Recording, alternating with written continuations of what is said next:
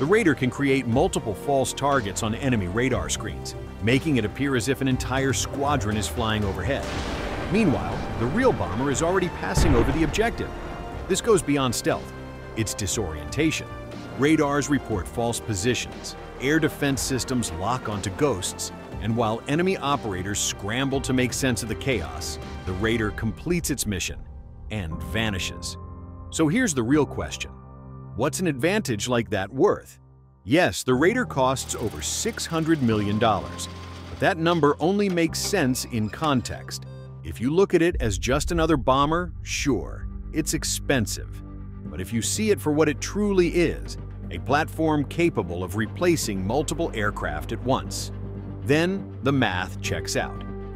One B-21 can do the job of three legacy bombers, the B-52, the B-1B, and in many cases, even the B-2.